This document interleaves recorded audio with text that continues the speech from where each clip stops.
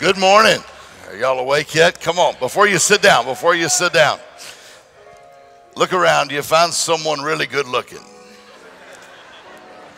if you need a minute, go ahead. Just take just a minute. Don't everybody look up here. There's other people. Come on.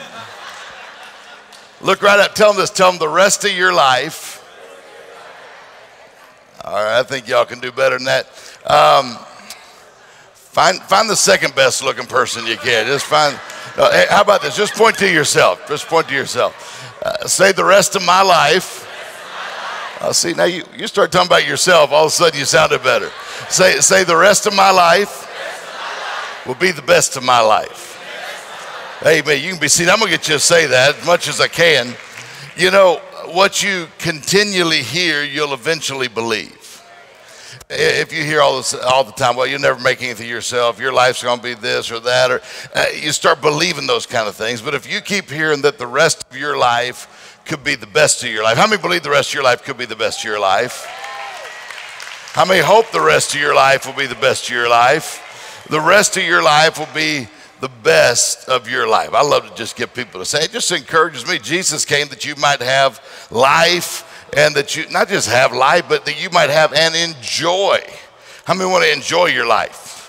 I mean, not just when you get to heaven, you want to enjoy it while you're here, right? He came that you might have and enjoy life, have it in abundance to the full till it overflows. That sounds like a pretty good life to me. Hey, you guys have been having an amazing uh, few days. Impartation. How many been here more than once this week? Already been here more than once. Look at all those people. I know people have been joining online from all over the place. I've been joining online, uh, just connecting, watching what's happening, and and it made me a little bit nervous looking at all the great speakers you had. I shouldn't have watched them. I'm like, man, they're all good. I, I wish I could preach as good as them. I wish I had a jackets as cool as Pastor Marco's. I wish I had hair as cool as Bishop Bronner's.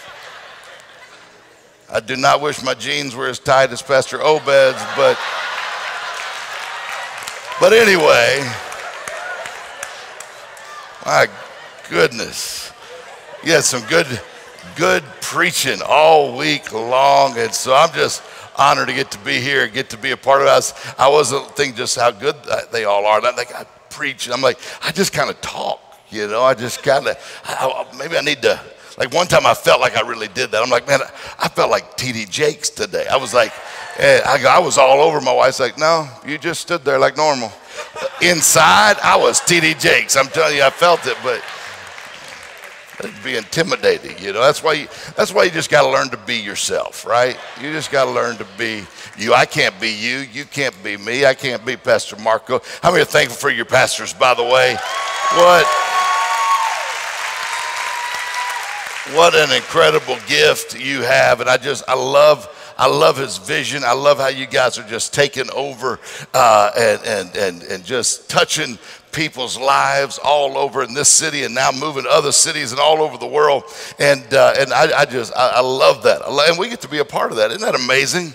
We get to be a part of taking the word and the good news of Jesus to other people. And through your faithfulness that, you, that are part of the first fruits and, and your giving. It makes, it makes all that happen. Makes all that happen. So I'm, I'm, I'm so excited to get to be here, but I, I can't preach as good as him, so don't expect that. And, uh, and I, I, I, don't have as many of those cool lines as Bishop Bronner, but um, here I am. And we're going to have some, my jokes are better than all of them, though, I bet you. I watch, watch this. But uh, anyway, you, got you just got to unwrap, unwrap, your gift. I, I, reminds me of these two snakes were slithering down the road, and one snake looked at the other snake and said, Hey, are we poisonous? The snake said, That's a weird question. Why, why would you ask me that? He said, Because I just bit my lip.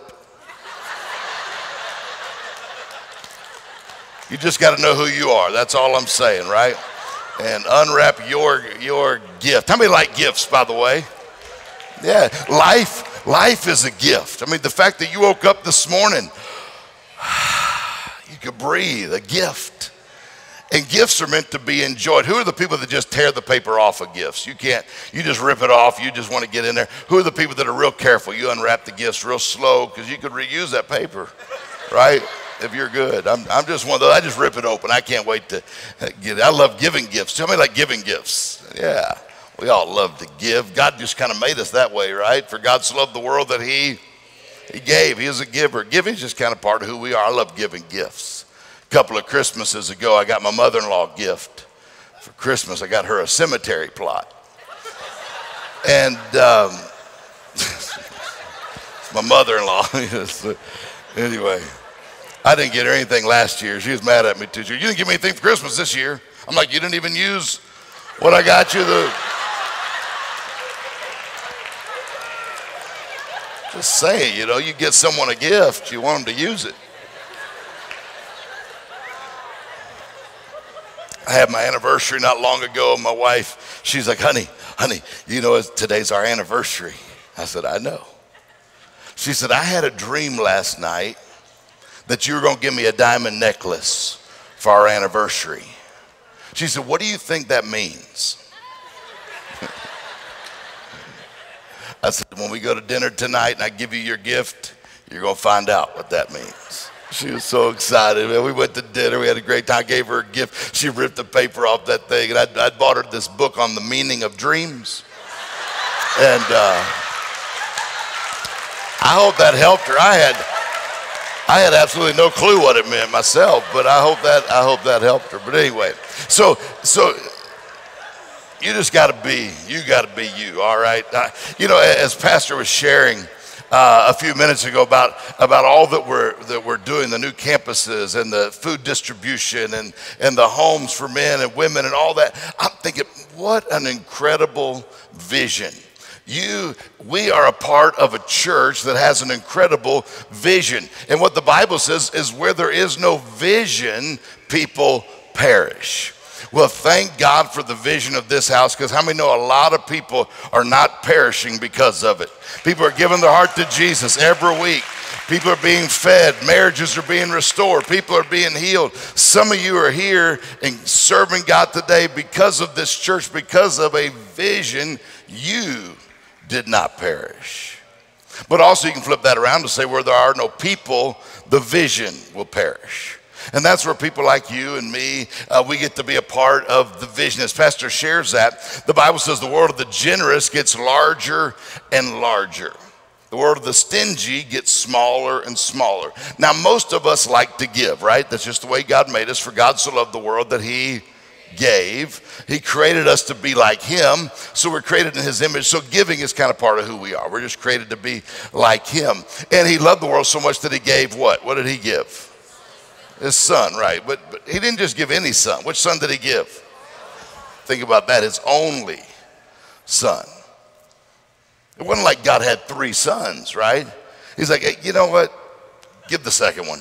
That one, the middle one, he is non. No, God, God had one son.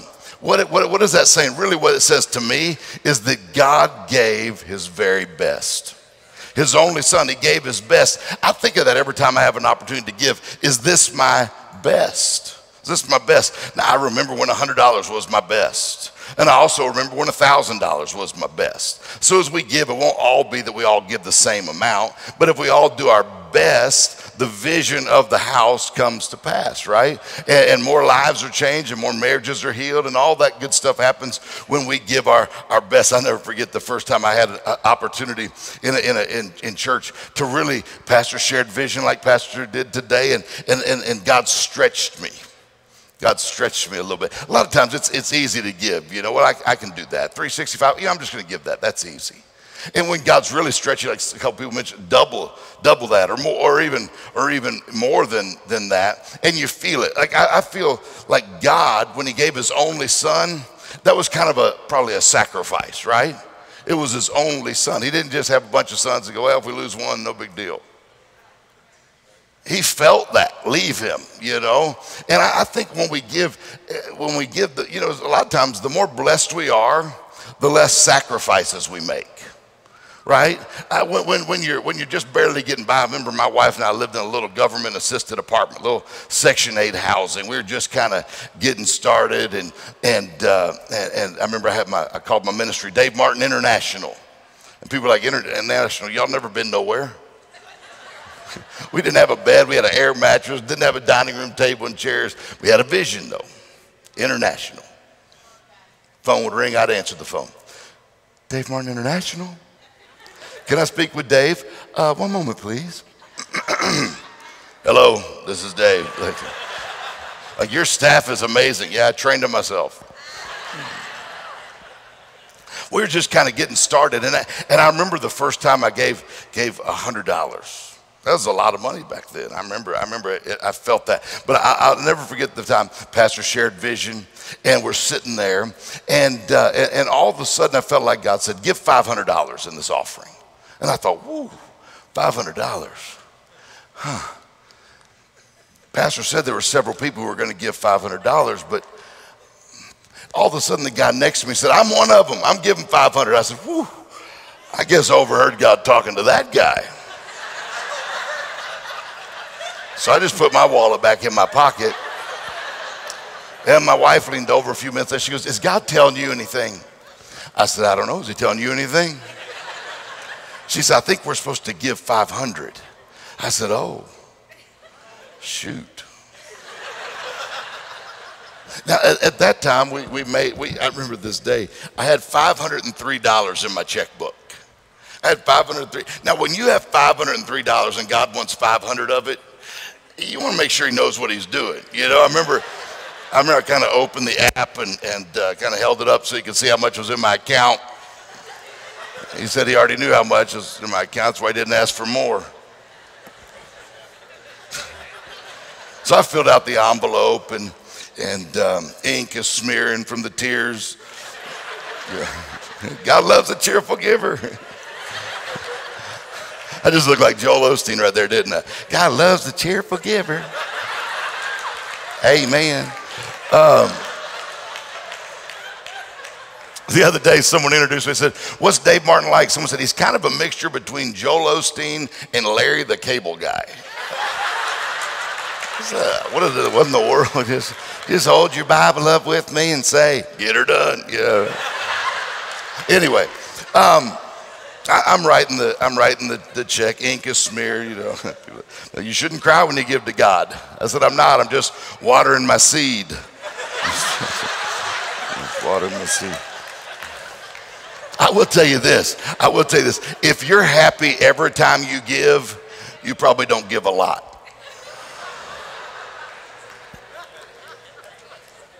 There's a lot of times I hadn't been happy. Willing, yes. Obedient, fine. Happy, uh-uh. When you have $503 and he wants 500, not happy about that. Obedient? Yeah. I remember, I remember we gave the, the, the $500. Now, now I remember the next year God stretched me to do a little bit more. It's like, it's like working out, right? I mean, if you go in the gym you're like, I want to bench press 500 pounds. First day, they're going to be like, you probably shouldn't start with 500. How about we start with 100? And I start bench pressing 100 pounds. Well, pretty soon I've got the 100. It's, it's, it's easy. So what are they going to do? they're going to add some weight on the end, right? And I'm going to work my way up. One, 150. I'm working my way up. 150. And then they add some weight on 170. I'm working. I'm just keep. I keep working. My, same with with giving, right? One day I can say, one day I'm going to give hundred thousand dollars. Well, I got to start with where I'm at. Maybe 500. I got 500. Now next year I'm going to stretch. I want to do a little bit more than I did before because I'm, I'm just working my way up, right? One day I'm going to bench press 500. Right now I bench press. I don't know around 330 four o'clock. Somewhere around that time is usually when I bench. So y'all get that later. But um, I'm just, I'm, I'm, working my way up. And so, so I, I, remember the first time. Now, here, here's one thing I have learned, and I would encourage you. I'd encourage you as you're preparing for your first fruits and all that, really listen for God's voice. Listen to God. I learned this a long time ago. When God speaks to you about a seed, He's got a harvest on His mind. See, God's already thinking about how He wants to bless you, but nothing leaves heaven until something leaves earth. When you let go of what's in your hand, then God lets go of what's in His hand. So I would encourage you just just be listening, because when that that five hundred dollars, my wife and I lived in a little government assisted apartment. We're thirty two thousand dollars in debt, and we heard some great testimonies this morning of some supernatural things that God got involved and helped people uh, get rid of debt. And and uh, how many like to be debt free? Wouldn't that be awesome? Think how much more you could do for the kingdom. Yeah? I mean, if you, if you ain't got to worry about, well, I got to pay off that furniture and I got to do this and I got to, he said, oh man, Pastor, what else are we going to do? Because Pastor can give us all the vision in the world, but it's up to us to decide how fast we get there. right? He gives the vision. We decide the acceleration of the vision through our through our giving. And so, so I, will never forget that $500. I'm like, oh my goodness. What's amazing is you just never know how God's going to bless you. Just a couple weeks later, my wife was in Walmart one day and uh, getting some, some, some Walmart stuff, whatever, whatever that is. She's, anyway, um, lady comes up to her and her friend with a video camera and says, hey, um, I was wondering if, if you and your, your uh, friend would be interested in being in a Walmart commercial. We've got people at 20 Walmarts today around the country looking for two people, two friends that will be in a Walmart commercial. They said, What do we have to do? They said, Well, you're just going to, uh, just a little audition. We're going to videotape you. Just go over here and shop for two or three minutes. We'll videotape you shopping. They all go, these all videos go to Chicago. They'll pick two people. Sure, they go and do it. They come home, tell me about it, and I'm kind of laughing at them. You know, you don't, you don't just walk into Walmart and people go, "Hey, you want to be in a commercial?" I've, I've been to Walmart a lot. No one's ever asked me to be in a commercial. So I'm, I'm, I'm laughing about it until a couple days later when we get a telephone call from out of all the Walmarts and all the people they videoed, her and her friend were, were chosen for this Walmart commercial.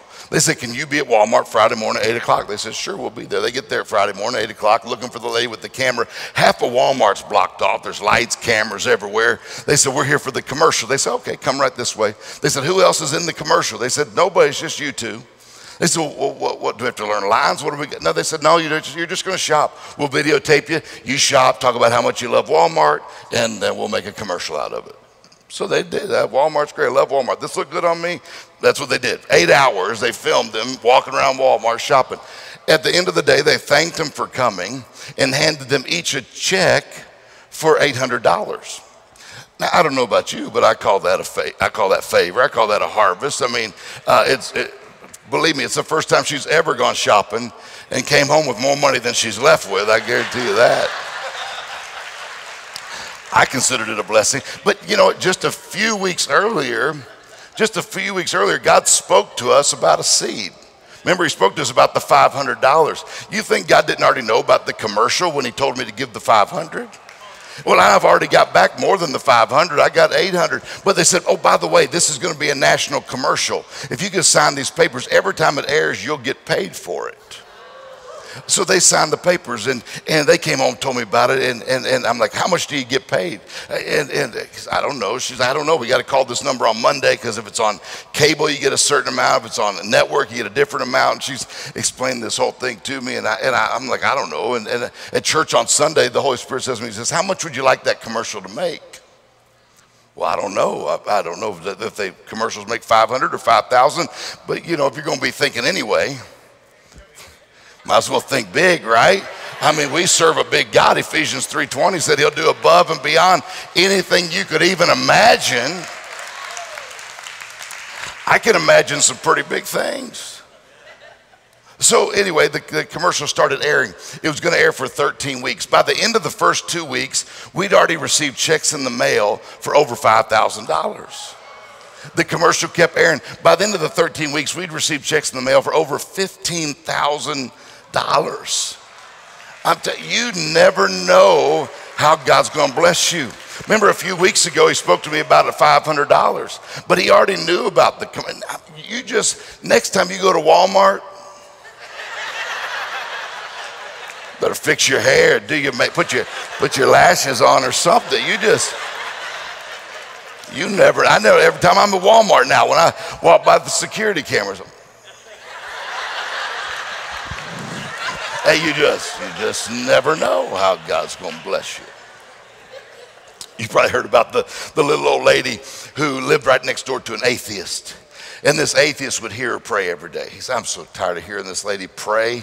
There is no God. I got to hear her pray to God. There is no God. One day he heard her praying for groceries. She didn't have any food. She's praying for, for groceries. And he thought, here's my chance. I'm going to show her.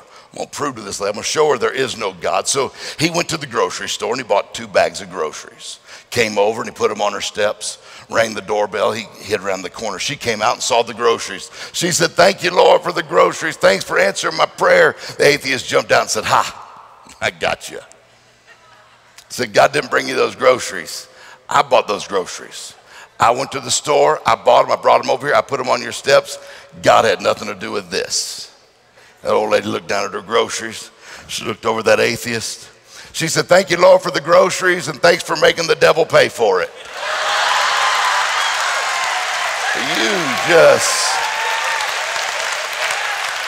you just never know, right? You just never know how God's going to bless you.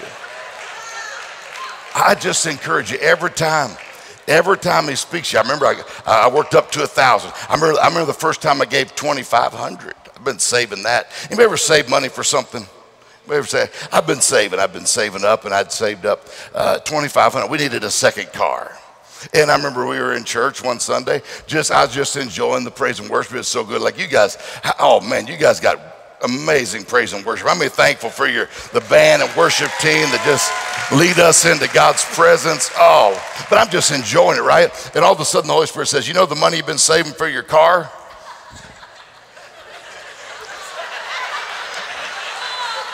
Yeah, yeah.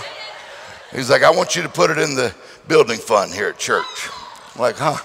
I turn that music up, try to try to drown that out.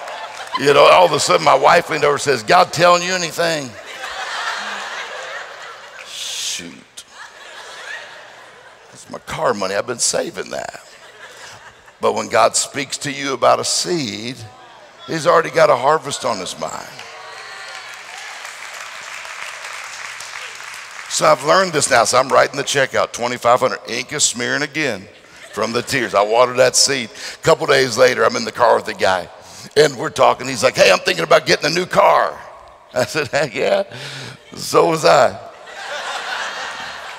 He said, you, you, should buy my car. I'm going to sell this car. You should buy it. I said, actually, I, I actually, I love this car. It was actually that we needed a second car, and it was the kind of car we were looking for. And I said, okay, okay. He said, look, I'm not in any hurry. He said, just when you get home, tell your wife you guys pray about it, and just let me know. I said, okay, fine, fine. So I got home and told Christine, but I said, hey, I said, there's cars. She goes, oh, I love that car. Let's pray about it. I'm like, yeah, pray if you want to. Fine, fine. I was still a little upset, honestly, about giving all my money in the offering, right? And so she's praying, Lord, if this is the car, I'm like, all of a sudden the Holy Spirit says, that's your car. Call them and tell them you want it. I said, I would, but you got all my money. He said, just call him. So I called the guy. I said, look, I said, you, you said you weren't in a hurry. Can you give me a, a, a, few days, maybe a month to get some things together? My wife and I are praying, and we'd like to buy that car from you. He said, you know what, actually? He said, my wife and I were praying last night, and, and we just felt, God said, if you called and wanted the car, that we were just supposed to give it to you.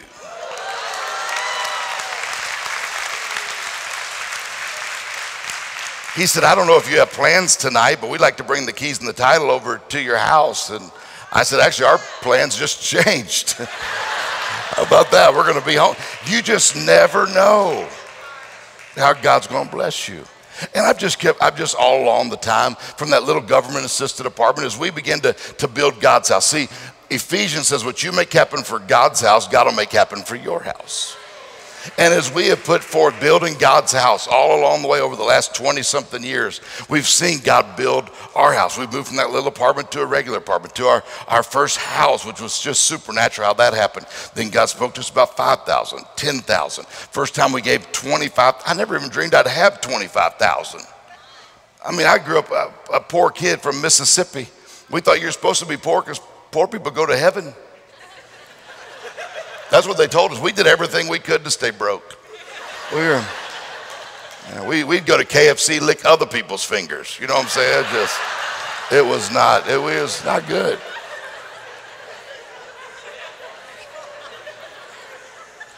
My dad used to tell us if the ice cream truck was playing music, that meant they were out.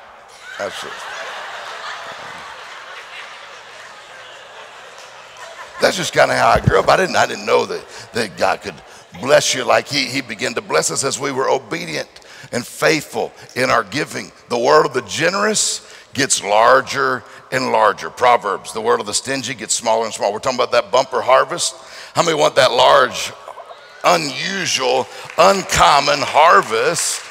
Uh, that, that, comes. It comes to the world of the of the generous. I, I forget. Our church was building a youth center, and they wanted to build it cash and pastor shared the vision. We're sitting there in the service, and, and my wife leans over and says, I think God wants us to give 25,000 to the youth center. And I said, Oh, I don't feel that. I, didn't feel that at all. And, uh, and, and, uh, and so uh, a few minutes later, the Holy Spirit says, Will you give 25000 to the youth center? I said, I don't have 25000 He said, I didn't ask you if you had 25000 He said, I asked you if you would give it. I said, Well, yeah, if I had it, yes, I would give it. He said, Okay. He said, I, eh, You remember that scripture says, I will supply seed to the sower. A lot of times you don't have anything to give, it's just because he didn't know you'd give it. But when he knows you desire to give it, he starts looking to get you seed to sow. He, pro- he provides seed for sowers. So when you say, God, I want to be a sower, my, my prayer every day, Lord, make me a distribution center. Bless me so that I can bless others. Say this with me say, I'm blessed to be a blessing. If you remember that one thing, I'm blessed to be a blessing. Not about the cars, not about the houses, it's not about all that stuff. We're blessed to be a blessing. I, I, told the uh, last service I was talking about in this building are, are water pipes. All throughout this building are water pipes. What do water pipes do? They distribute water from one part of the building to another part of the building. That's what they do. They distribute water. The purpose of a water pipe is not to get wet right? That's not why water pipes were created. They're, they're created to distribute water.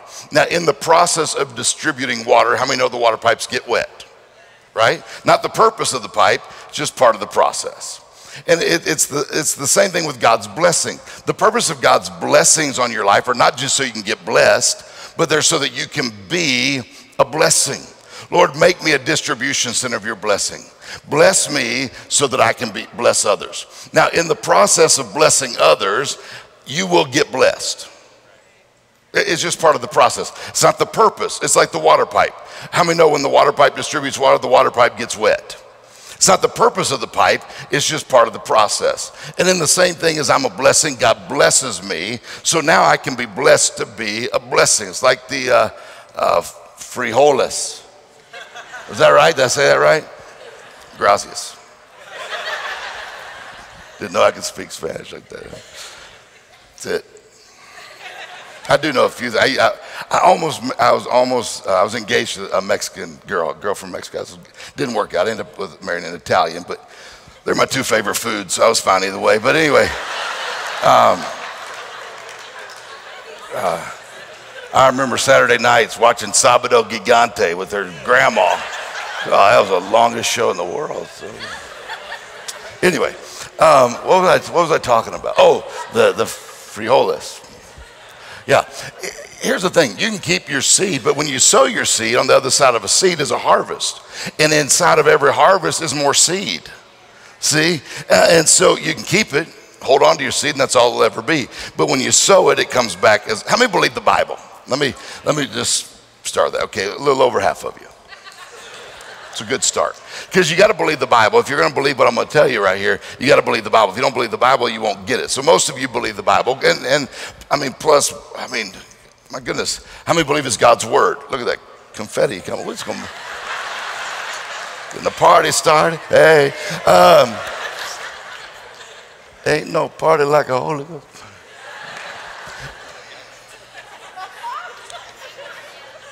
I mean, you think about it. If, if, if God didn't write the Bible, who did? Like people tell me, you think God really wrote all that stuff? I mean, I've, I've wondered before. I've, I've been, my dad's a preacher. My grandfather's a preacher.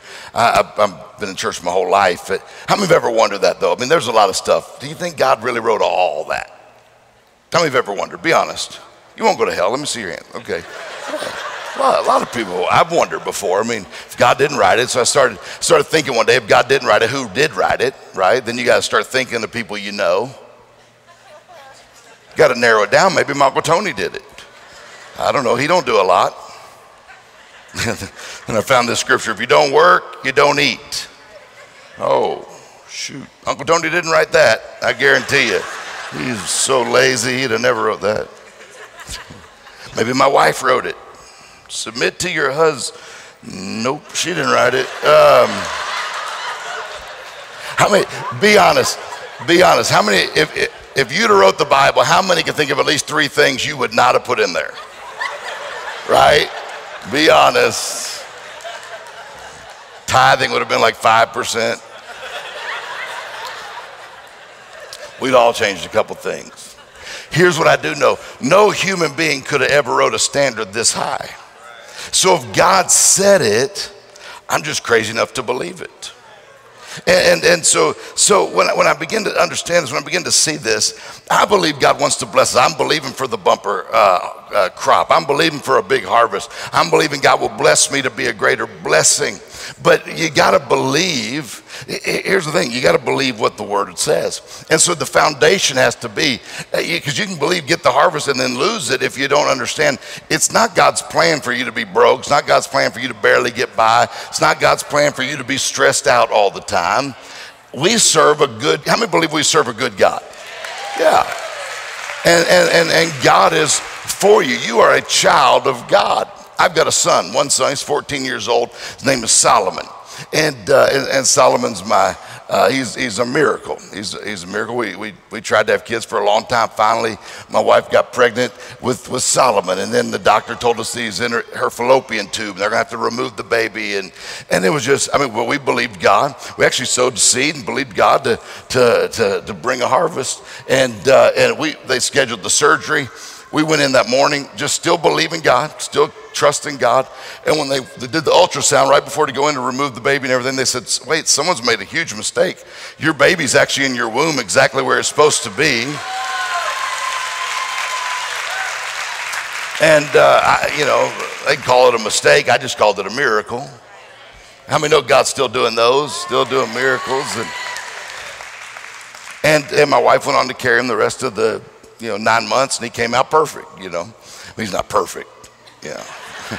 He's not perfect. He, he didn't even come out perfect, actually. He was born C-section. But anyway, you can't tell when you look at him. He just, he looks fine. Looks totally normal.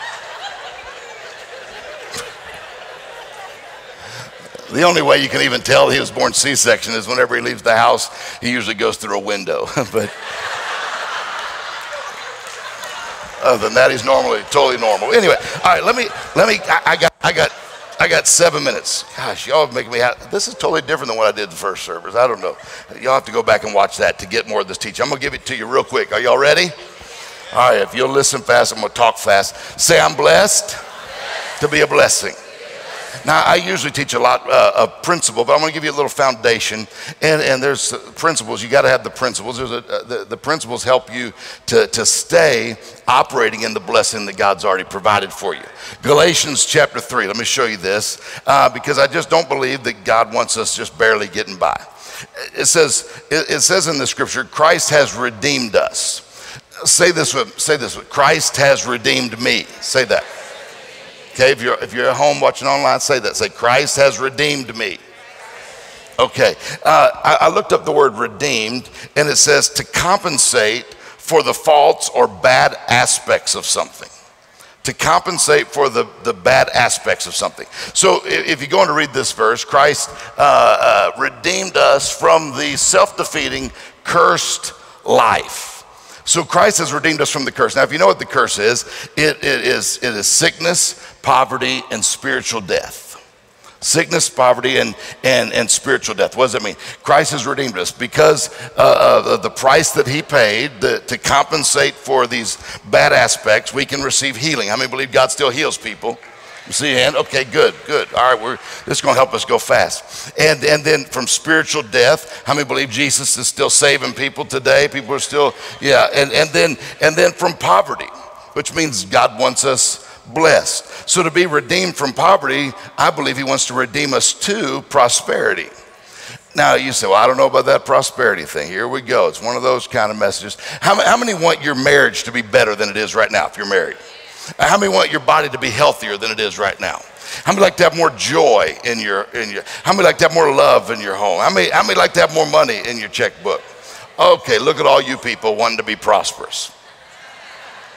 So obviously, most of you believe in that because uh, all prosperous means is to do well. It's not a money thing. It's, it's to prosper. God wish above all things you would prosper. It means He wish above all things that you would do well, that your kids would be well behaved, that your, that your families would be strong, that your business would do well. That, that, he said, That's what I wish. I wish you'd do well. So Christ redeemed us from the curse. Now, I'm going to focus on one aspect today because of what we're talking about this weekend, and I want you to get this impartation. I'm going to get it to you. You got to receive it. But uh, I want to talk about the aspect of, of poverty. Now, I'm going to give you a couple scriptures, and these scriptures right here are going to help us because the entrance of God's word, the Bible says, brings light.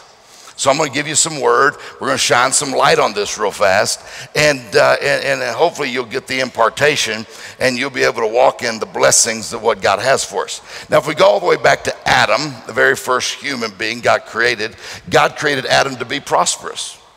He put him in this, this beautiful garden. He had dominion over all of God's creation. So, from the very beginning, God created man to be prosperous, to have dominion, to, to, to, do, to do well. Now, if you, if you look at it, the devil came along and kind of got involved and messed a bunch of that stuff up. And that was the, the problem, began destroying all that. And, uh, and then Jesus now has come back to redeem us from the curse and restore back to us that position of dominion and authority and prosperity that God meant for us from the very beginning. When He came to redeem us from the curse, is that He became a, a curse for us. Christ redeemed us from the self defeating curse life by absorbing it completely into Himself. Do you remember uh, the scripture says, Cursed is everyone who hangs on a tree. That's what happened when Jesus died on the cross for you and was nailed to the tree. He became a curse, it says, and at the same time dissolved the curse. So he became a curse. Um, curses everyone who hangs on a tree. When he died on the cross for you, he took care of the curse that had come on us sickness, poverty, and spiritual death. Now, so Jesus shed his, his blood, right? He hung on a tree so the curse could be broken off of you and, my life, so we could receive healing, so we could uh, receive salvation and eternal life, and so that we could receive the blessing of doing well and prospering in life. That is the power of the blood that Jesus shed for you and for me. So, let me ask you do you want to receive the full benefit of what Jesus has done for you? How many want to receive the full benefit of it? I don't want just part of it, it, it, which he has already done for you. Has means past tense, right? He already did it. One simple, easy example to see what Jesus did for us. Um, I heard about a gentleman in England. This is years ago, wanted to come to America. The, the American dream, a new life, new idea, new, and, and, and so he didn't have enough money to buy a plane ticket or anything like that, but he'd found out about a boat that he could get on, and, and there was a, a, a ship coming from uh, England to America. And so he saved up his money and he bought a ticket on the boat. Well, when he bought a ticket, he didn't have enough money for food or all the extra things. He just barely had enough to get the ticket. So he bought the ticket and he packed in his bag some bread and some, some a little jar of water. And he thought, I'll just ration that out over the several days it'll take to get to America. A little bit of bread, a little bit of water, at least I'll live, be fine. First day came, the cruise, they take off, and that night's time for dinner. Anybody ever been on a cruise? Let me see if you ever been on a cruise. Okay, quite a few people. Anybody ever watch a love boat? Uh, we'll count that for this. If you ever been on a cruise, when it's time to eat, there's all kind of food, right? Just tables and tables. So it was time for dinner, and the young man went upstairs. But of course, he didn't have money for the food. He just barely had enough money to get the ticket. So he's looking in the window and he's seeing all these people eat, but he just went back down to his cabin, had a little bit of bread, a little bit of water. Next day, same thing, breakfast, not same thing. After two or three days, the captain noticed, he said, Young man, I noticed that every time it's time to eat, you come in, you peek in, you see all the food, but you never go in and have any of the food. You just keep going back downstairs. Can I ask you why you don't have any, why you don't go eat any of the food? And the young man said, Captain, he said, when I bought my ticket, he said, I barely had enough to get the ticket. I just want to go to America. I want to begin a new life. I didn't have enough money for the, the food. I just packed a little bag of bread and some, some water. And, and the captain looked at the young man. He said, Young man, he said, didn't you realize when you purchased your ticket that all the food was included? See, Jesus, when he died on the cross for you, he purchased a ticket. And everything that you need has already been included in the ticket. It's already been provided in the ticket, and you're sitting there having a little bit of bread, a little bit of ration. Well, we'll just one day we'll just get to go to heaven. It'll all be over. When that's not His plan for you, it's already been included that you could be healthy, that you could be prosperous, that you could live uh, a life, an abundant life. Christ has redeemed us from the curse. He has redeemed us. That's you and that's me. That's every person who's accepted Jesus has been redeemed through his blood and his death on the cross. He already paid the price so that we could get back to the first place where Adam was and have dominion, have victory, have power, have authority, and have prosperity. That was God's plan for us from the beginning. And so uh, he set Adam up in that place. Like I said, the devil came in and, and messed it all up, but now he came to redeem us from this curse, this sickness and poverty and, and, and spiritual, spiritual death. So we all want to, to do well. All throughout the Bible, it talks to us about that, right? Ephesians 3:20, you be exceeding, do exceedingly abundantly above all you could think or ask. In Luke, he says that you'll have good measure, pressed down, shaken together. That's what happens when you give. See, when you honor God with your tithe and offering, and then you give over and above that, uh, like our, our, our, our first fruits, Give, and it will be given. How many believe the Bible again? Okay, good. A few more of you. Give, and it will be given back to you. Let me ask you this: uh, How many have ever, how many have ever, be honest, you've been a little lazy. You needed to take the garbage out, but you didn't feel like taking the garbage out. So you just pressed it down in the can. You just pressed it down. Let me see your hand. It, it's okay for this. Okay. Most of us have done that. Yeah. You just press it down. Why? Because if, if you press it down, you got more room, right? You don't have to go outside yet. You can just keep putting stuff in there. And, and pretty soon you keep putting stuff in there. You can't press it down anymore. So what do you have, uh, what, what happens? It, it, you got to, if you take the bag out of the can, you ever notice if you take the bag out of the can and shake it, you find a little bit more room, right? You still don't have to take it out. You can sit it down next to the can and keep putting some stuff in there until finally it gets to the place where it's overflowing and you got to take it out. This scripture is saying the exact, God said, That's how I want to bless you. When you give, I'm going to give it back to you. Good measure, pressed down, a little more blessing, shaken together, a little more blessing, running over. That's how I want to bless you. When you give, I give it back to you. And so we, we, we serve this, this God who, who we, we serve a good God. I believe we serve a good God who wants us to be happier and healthier. And, and like I said, I've got my, my son. Now, as a father, if, if my son goes out looking all raggedy and everything, and he goes around saying, Yep, I'm Dr. Dave's son. I'd be like, Son, don't tell him don't tell them that. You look horrible today. how do you think God feels? We're His children, and we're out there barely making it, always depressed and always down. Yeah, I'm just trying to make devils fight me all day today. Yeah, we should be the most positive. Yes, we're going to have trials, tribulation. But you know, in John 16 33, he said, even in the middle of all your trials and tribulation, be of good cheer. Now, listen, I got to work at this. Uh, how many, how many have to work at being positive? Be honest. Yeah, I, I have to work at it. It's not natural for me. I was born a, I was born a pessimist. Mm. I mean, even my blood type is B negative, right? So I got to work to be positive. But when you know you serve a good God, and that God is for you and not against you. And then you, you understand all these principles that He's, that he, he's put in here to help us to, uh, if you're not walking, uh, if you're not talking about, uh, um, uh, this isn't just about prosperous about stuff. Don't get it, don't get that word all mixed up with all this other stuff. It just means uh, just doing well, and, and He wants to bless you so you can be a blessing and, and prosperity on this earth. Um, you can't take anything with you anyway. That, and God doesn't mind you having a nice car. That's not what I'm saying. But I'm just saying that's not the purpose. He wants to prosper you so you can be a blessing. Say, I'm blessed, blessed. to be a blessing.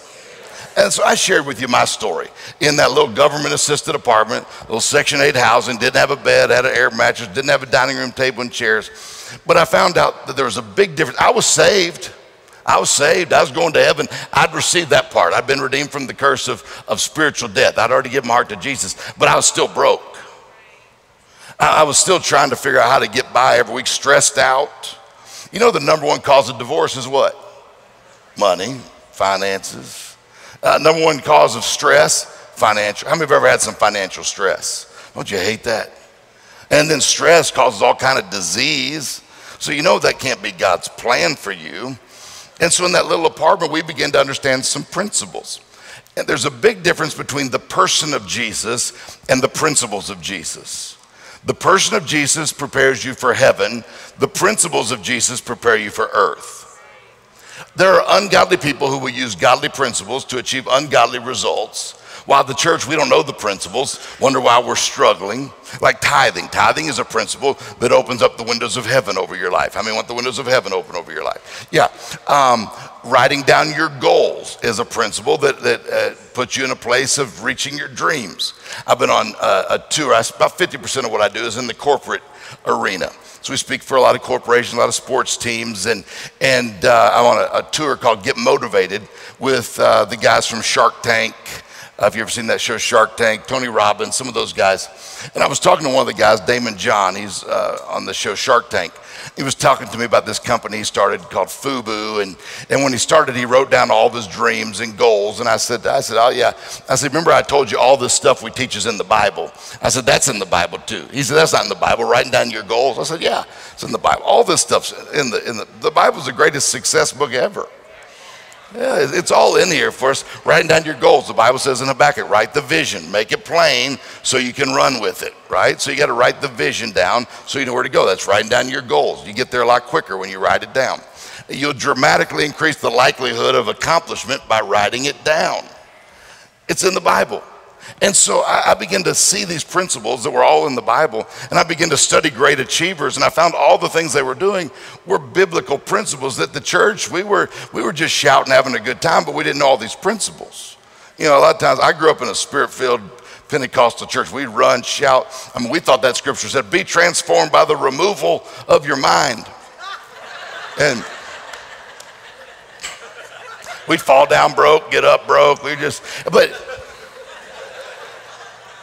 I actually, the scripture said the renewal of your mind. That, that, that's a change in the way that you think. And if you could change the way you think. So as I began to study these achievers, I, I, I wrote, uh, I wrote a book. I, I got a, uh, there's a few of them left. The first service was really into wisdom. I'm not sure about you guys. But uh, so they, they bought most of them up. There's, there's a few left back there. Because um, I, I believe one of the greatest investments you'll make is in yourself. The Bible said wisdom is more valuable than silver, more profitable than gold, more precious than rubies. And this book is less than all that stuff. How many like to be doing better than you're doing right now? Let me see. Okay, most of us. If you're not doing as well as you'd like to be doing, it just means there's something you don't know. Okay? If you're not doing as well in any area of your life, if you're not doing as well as you'd like to be doing, it means there's something you don't know. When I heard that, I went from being a know it all to being a learn it all.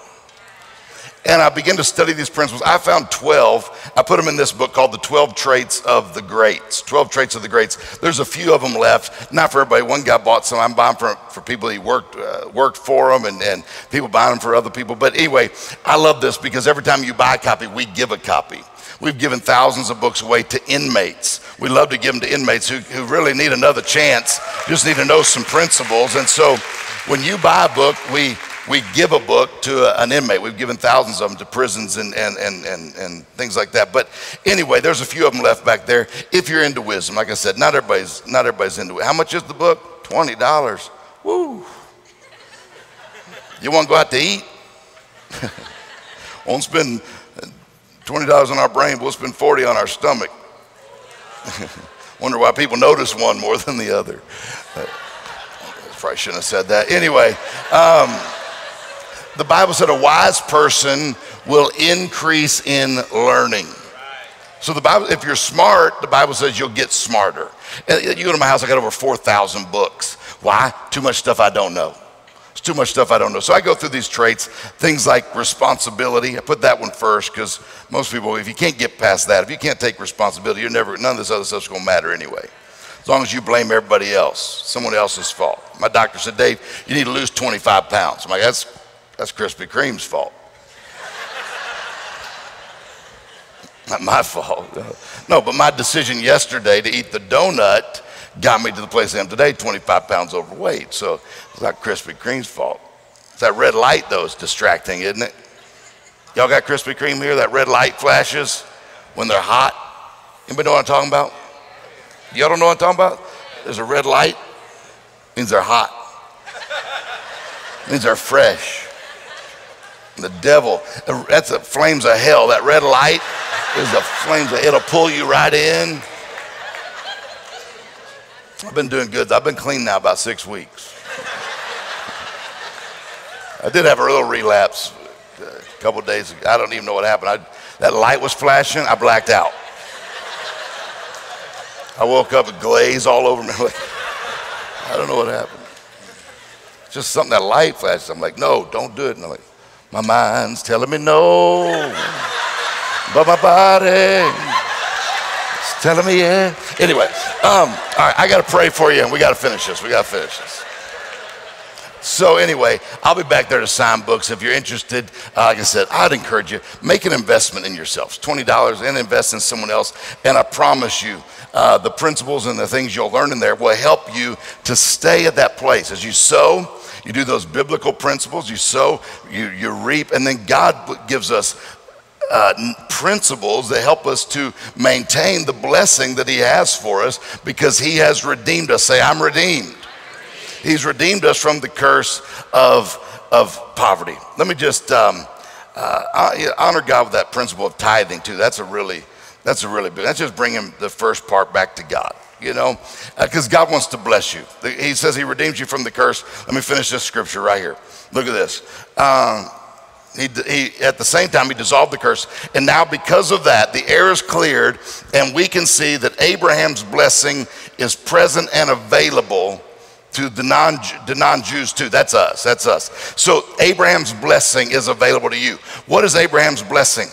God said to Abraham, He said, I will bless you, and you will be a blessing, and those who bless you will be blessed. I will bless you. So if you receive this blessing, then you ought to be blessed. Then the people, you ought to be a blessing, and people who bless you will be blessed. You are Abraham's seed, the Bible says a couple verses later down there, and heirs according to that promise. How many ready to receive that blessing on your life? Abraham's blessing on your life. You've been redeemed. All you got to do is believe it and receive it. Say, I believe it. I receive it. All right. Say amen. All right. Let me pray for you real quick. Hopefully, I get to, to meet you out there. I, I, I went way over my time today, but I, I don't want to close without saying a prayer over life. How many, how many got at least one thing that helped you today? One thing to change your thinking one day? So I encourage you, uh, if you didn't get a chance earlier and God's speaking to you, maybe just stretch a little bit. Make sure you find one of those out in the, in the lobby. There's all kind of containers, the containers out there. Get that seed in the ground. Maybe you didn't do anything. God's speaking to you. Uh, listen to his voice. Get that seed in the ground. God loved you so much that he, he gave. And so we give because he gave to us. But you know what he gave? He gave his only son, Jesus. Maybe you've never received that gift. It was a gift just for you, whether you're with us online today or whether you're in the building. I'll tell you what, I've learned this life goes better when you put God first. Life, how many found that to be true? Look, you can look around, you see all those people, testimonies right there. Life goes better. Didn't say life goes perfect. In the world, you'll have trials, tribulations, distress, but be of good cheer. I've already overcome the world. If you hear and you said, you know what, Dave, I've never made the decision to put God first in my life. If you're watching online, or, or maybe you're here and you say, you know what, Dave, at one point I did put God first place in my life, but if I'm real honest right now, I've allowed some other things to come before before God in my life. Maybe it's a job, maybe it's a relationship, but God's not first place in your life right now. But you know you need to put him back. He, he, he won't condemn you, but he may convict you. You say, you know what, that's me. I'm telling you, it's the best decision you'll ever make. The decision to put God first place in your heart. And it's real easy. He said, all you got to do is believe in your heart, say with your mouth, Jesus Christ is Lord. That's simple. Believe in your heart, say with your mouth. And if that's you, and you're one of those people, bow your heads just for a moment. Well, if you're here, if you're online, I'm going to count to three. I'm going to look across the building one time, just one time. Make this real easy. You already know if this is you. You already know if God's not first place in your life or if you need to put him back first place in your life. We just love to pray with you, help you. I'm telling you what, if, if that's you, uh, 12 months from now, you're not even going to believe what God will do in your life. I'd encourage you, if, if, if you're saying yes, we'd love to help you along that journey, coach you along that journey to be everything that God created you to be online, here in the building. Heads bowed, I'm to count to three. If that's you, you say, Dave, I'm putting God first place in my life today. I want to live in the full, abundant life He's promised me. I'm telling you, when you put God first, He'll take you places you've never dreamed. Or you need to put God back first place in your life, whether you're online or whether you're in the room. One, I count to three, just lift your hand real quick. Two, and three. Let me see your hand across the building, in the room. God bless you. God bless you. God bless you. God bless you. God bless you. Online, you might want to pop up that little emoji, that little hand. It's the best decision you could ever make. And we want to help you on that journey. Matter of fact, all across the room, I want you to stand up. And if you lifted your hand, I want you to come down here real quick. Just come down here. Can we put our hands together for those again that made the best decision? Because we want to help you. Come on, come on down, brother. I see you coming down right over here. Come down. Here's what we want to help you with this journey. We want to help you. I promise if you'll give us 12 months, if you made that decision, continue to come while I'm talking. Online, we'll help you. If you'll give us 12 months, get back here way every chance you get. Get involved everywhere you can. Get connected. And, and we're going to, right down here in the front, we're going to help you begin to move forward. I'm telling you, 12 months from now, you'll say, man, that was the best decision I ever made. Believe in your heart, say with your mouth. I want everyone, just everyone in here, those down here in the front, just say these words with me. Jesus Christ is my Lord. You just turned the page to a brand new chapter. The rest of your life will be the best of my life.